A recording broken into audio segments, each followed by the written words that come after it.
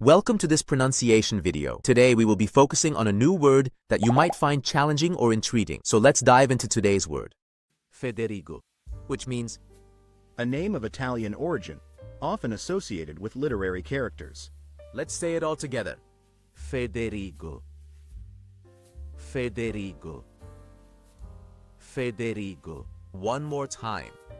Federigo. Federigo. Thank you for joining us on this adventure in pronunciation. Remember, language is a journey, not a destination. Keep exploring, experimenting, and expanding your linguistic horizons. We'll see you next time.